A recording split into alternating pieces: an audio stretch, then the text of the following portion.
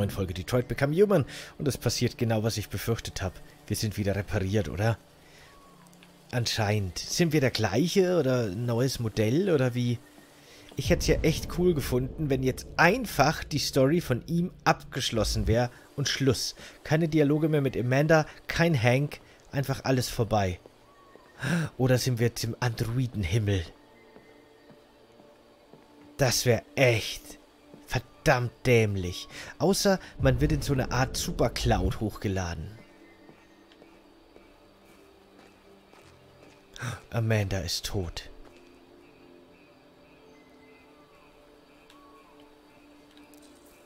Connor Mark 1 died at 1554 Park Avenue. Connor Mark 2 died at Riverside Park. Man kann es kaum lesen. Ah, da drüben steht's. Das war am 15. August 38, am 7. November. Sind wir schon mal gestorben mit dem? Da könnt, könnte ich mich nicht erinnern, oder? Aber anscheinend sind wir jetzt der Mark 3. Haben wir die Erinnerungen unserer vorherigen? Weil wenn nicht, dann muss ich so tun, als ob der die Information nicht hätte, die ich habe. Weil sonst wäre es irgendwie unlogisch. Wo ist denn bitte Amanda jetzt?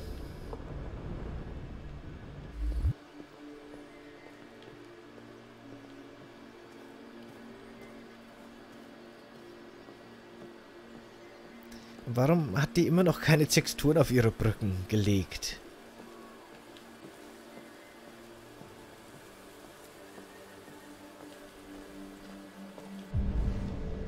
Amanda gibt es nicht mehr. Ah, da hinten in dem kleinen Bötchen. Mit dem kleinen Schirmchen. Na sowas. Dann gehen wir da mal hin. Amanda, Amanda. Ich komme und fahr mit dir Bötchen. Und dann kochen wir köstliche Brötchen. Nein, Hallo, wir Connor. backen sie Ich nicht. dachte, eine Bootsfahrt würde dir gefallen. Tut sie.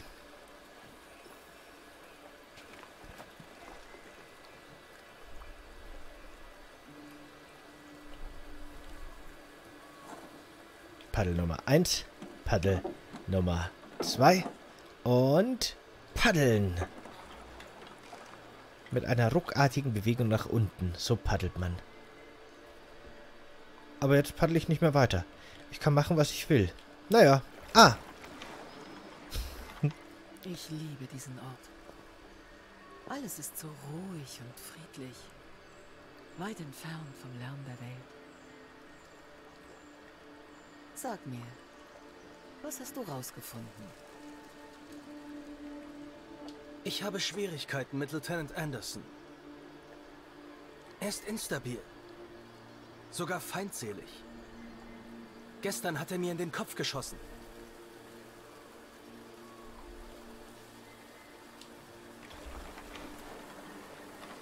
Du wirkst verloren, Connor. Verloren und beunruhigt.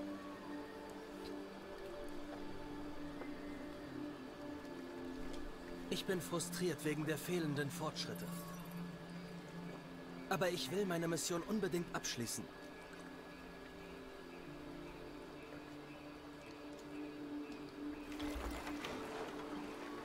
Wenn deine Untersuchung nicht bald Fortschritte macht, muss ich dich vielleicht ersetzen, Connor.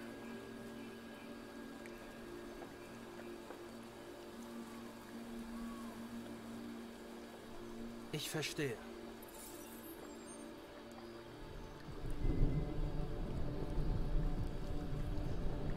Etwas ist im Gange.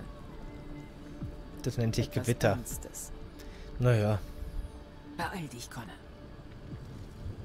Die Zeit läuft uns weg. Hat sie jetzt übernatürliche Wetterlesfähigkeiten oder ist sie einfach nur abergläubisch?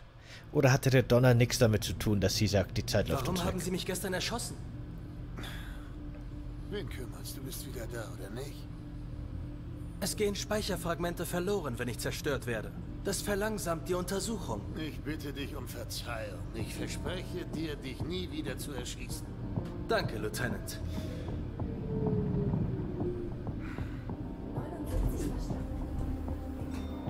Hi, Hank.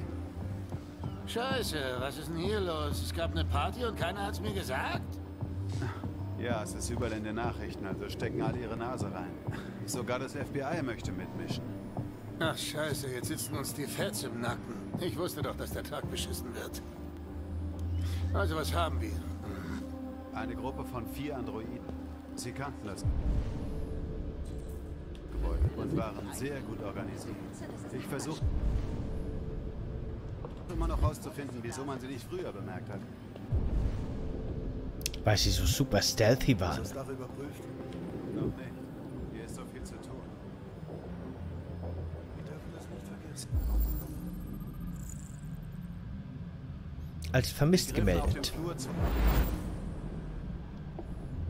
Bei Wachen. Sie dachten wohl, die Androiden kommen für eine Reparatur. Sie konnten nicht schnell genug reagieren. Hier nix? Nö? Na gut. Dann gehen wir wieder. Dann folgen wir der Blutspur.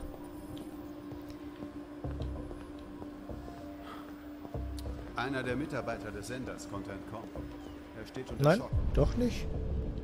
Warum ist das kein Hinweis? Das wäre doch für unsere Rekonstruktion super wichtig, oder? Eigentlich. Muss ich nochmal zurückgehen? Muss ich noch eine Zwischenstufe irgendwie... Wie viele Leute arbeiten hier? Nur zwei Angestellte und drei Androiden. Ah, da oben. Die Abweichler nahmen die Menschen als Geisel und sendeten die Botschaft live. Dann verschwanden sie über das Dach. Das Dach? Ja, sie hatten Fallschirme. Wir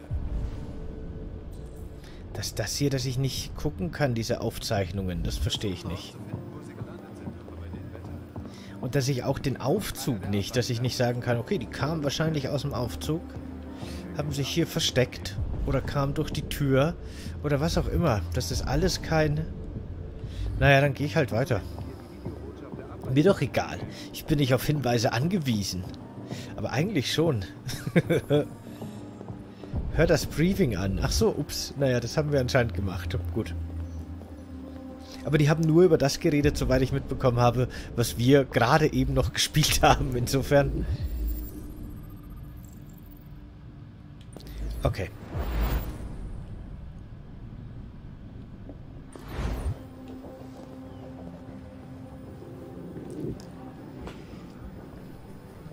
Oh, Lieutenant, das ist Special Agent Perkins vom FBI. Lieutenant Anderson leitet diese Untersuchung für die Polizei von Detroit. Was soll das? Mein Name ist Connor. Ich bin der Android von Cyberlife. Androiden gegen Androiden.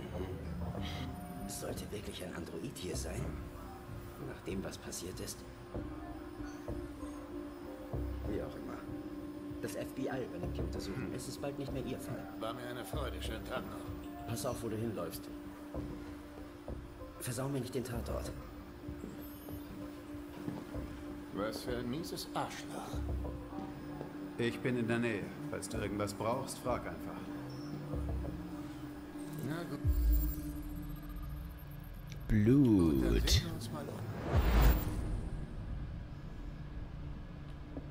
Sag mir Bescheid, wenn du was findest. Okay, Lieutenant. Mützen.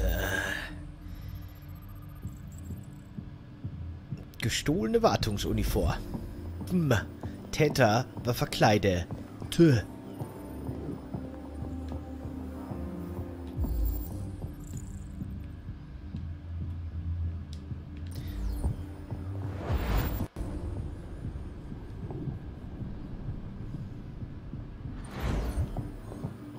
Exekutiert. Also dieser, dieser Stoßtrupp hat schon mal nix von der Rede gehalten, die wir da gehalten haben vorher. Anscheinend. Halt, stopp, da war was. Wir fordern Anerkennung unserer Würde, unserer Hoffnungen und unserer Rechte. Gemeinsam können wir in Frieden leben und eine bessere Zukunft schaffen für Menschen und Androiden. Diese Botschaft ist die Hoffnung eines Volkes. Ihr schenktet uns Leben. Und jetzt ist es an der Zeit, uns Freiheit zu schenken. Glaubst du, das ist RA9? Abweichler sagen, RA9 wird sie befreien. Dieser Android scheint das vorzuhaben.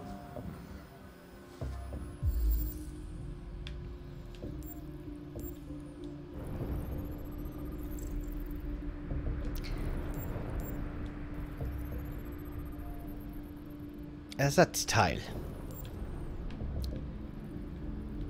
Woher weiß der, was das Originalauge ist und was nicht? Naja.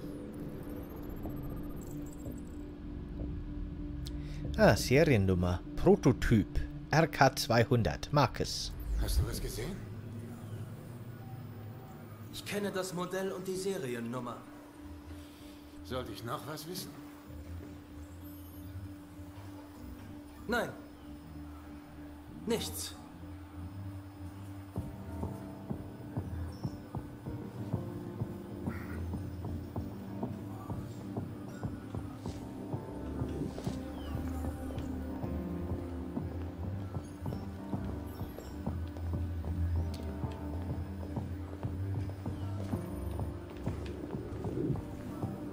Wenn wir uns mit Hank gut stellen würden, würde uns Hank bestimmt am Schluss helfen, wenn wir als er dann auch zum Abweichler werden und so weiter. Dann fängt Hank für uns eine Kugel ab wahrscheinlich oder so. Tja. Aber ich glaube, das kriegen wir irgendwie nicht mehr hin. Ich weiß nicht, warum Hank uns so hasst. Wir lieben dich doch, Hank.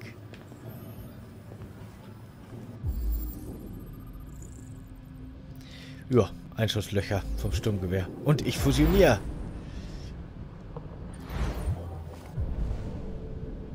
Und da hinten kann man auch noch was machen. Na dann, auf.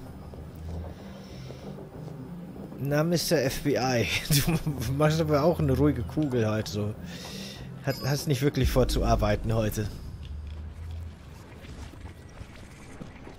Ah, ha. Was haben wir denn hier? Abweichler sind nicht eingebrochen. Es war kein Einbruch? Nein, kein Zeichen eines Einbruchs. Es sind Kameras auf dem Flur. Das Personal muss gesehen haben, was los ist. Warum haben sie aufgemacht? Vielleicht haben sie einfach nicht geguckt.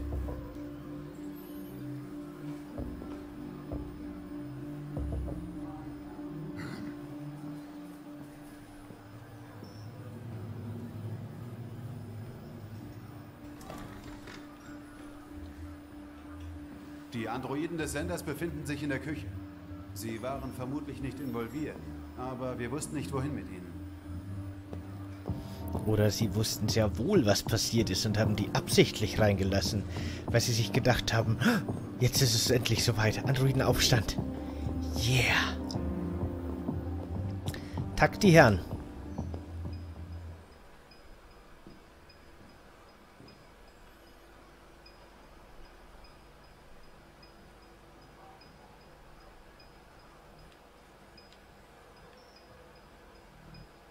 Deine Funktion? Ich bin Senderassistent. Nenne dein Modell. Modell JB 300. Seriennummer 336 445 581. Hattest du in letzter Zeit Kontakt zu anderen Androiden? Nur mit Androiden des Senders im Rahmen meiner Arbeit. Hat kürzlich jemand auf deinen Speicher zugegriffen? Nicht soweit ich weiß. Warst du anwesend, als die Abweichler eindrangen? Ich weiß es nicht mehr. Der ist verdächtig. Mach eine Diagnose. Alle Systeme voll funktionsfähig. Einer von euch sah den Überfall über die Kameras und sagte nichts. Was bedeutet, dass ein Abweichler hier ist? Und ich werde herausfinden, wer es ist. Ich glaube, dass es der in der Mitte ist. Man wird dich abschalten, verstanden? Wir lesen deinen Speicher aus und werden dich auseinandernehmen, Stück für Stück, zur Analyse. Man wird dich zerstören. Verstehst du? Zerstören! Und wenn der vorher kein Abweichler war, ist er jetzt wahrscheinlich einer. Haben wir schon zwei. Warum sollte man euch alle zerstören, wenn nur einer der Abweichler ist? Gib dich zu erkennen oder zwei unschuldige Androiden werden deinetwegen abgeschaltet. Ist bestimmt der in der Mitte. Wenn du dich ergibst, kann ich deine Zerstörung durch die Menschen vielleicht noch verhindern. Aber wahrscheinlich nicht.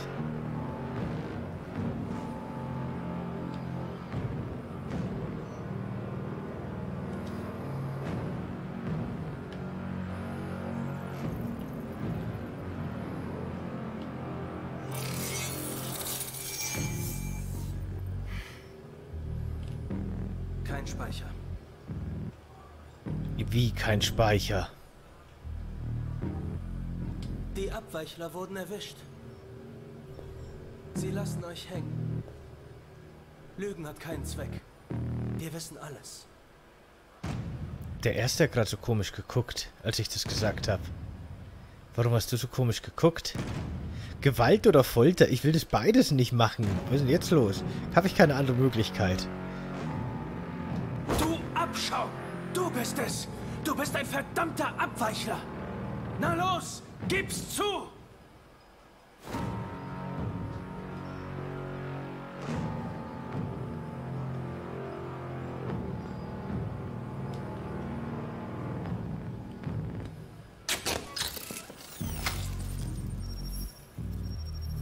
Biokomponente 8451.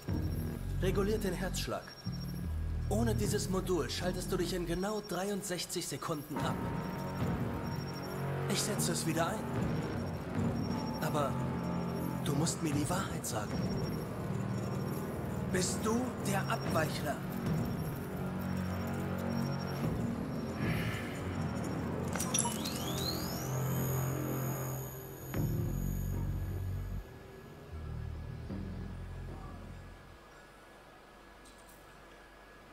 Kein Abweichler dabei.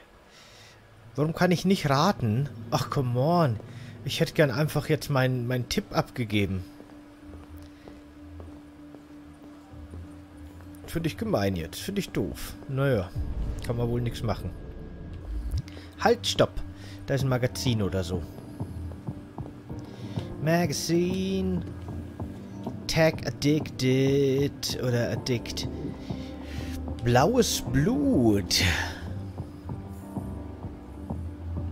Nach Jahrzehnten mit primitiven, roboterhaften und teuren Androiden-Designs revolutioniert Cyberlife die Industrie durch die Innovation der CEOs und Visionären Elijah Kemsky. Tritium 310, der chemische Name des charakteristischen blauen Bluts, ist eine für die Funktion sämtlicher Cyberlife-Androiden lebenswichtige Verbindung, die Energie und elektrische Information durch die Kreisläufe der Maschine transportiert. Die Flüssigkeit versorgt Biokomponenten, synthetische Organe, die grob dem Organsystem des Menschen entsprechen. Punkt. Manche dieser Organe haben wichtige Funktionen wie Temperatur und Blutzirkulation, während andere ver verwendet werden, um die Androiden menschlicher wirken zu lassen. Zum Beispiel Lungen, äh, doch wirklich, Lungen zum Simulieren von Atmung. Man muss da wirklich eine künstliche Lunge anbauen, damit Atmung simuliert werden kann. Wie beim Menschen beeinträchtigt ein Blutverlust die Funktion des Androiden und endet schließlich mit der Abschaltung. Blaues Blut ist essentiell für Cyberlifes Hauptkaufargument Argument, der menschlichen Wirkung der Androiden, dass die Wunderchemikalie Energielieferant und Regul Re Re Regelung der internen Symptome, Theme, ah, der internen Systeme des Androiden von einem Mann entwickelt wurden, der nicht einmal gelernter Chemiker ist, trägt, trägt zum Mythos zu, äh, um Elijah Kamsky bei und so weiter. Ich verstehe. Ich habe ein bisschen mehr über blaues Blut gelernt. Ist auch für die Energieversorgung und so weiter da. Green Earth. Run auf Clean Food. Ah, okay. Bio ist auf dem Vormarsch. Immer noch oder so. Oder jetzt auch in den USA vielleicht. Ist ja nur bei uns irgendwie. Ich meine, man weiß es nicht. Amerikas Städte stehen vor zwei wachsenden Problemen. Arbeitslosigkeit, schlechter Zugang zu gesunden Essen mit wenig Kalorien. Aber Detroit Urban Farms und so weiter. Ja, ja, ich verstehe schon. Okay. Schnooby-Dooby-Doo-Doo-Doo-Doo, Schnoo. Ich Oh. glaube, wir haben hier jetzt alles gesehen. Willst du gehen? Ja, Okay, verschwinden wir. Ich wäre eigentlich gern noch aufs Dach gegangen, wo die sich ab, also abgesprungen sind mit dem Fallschirm. Vielleicht hätte man da noch was gefunden.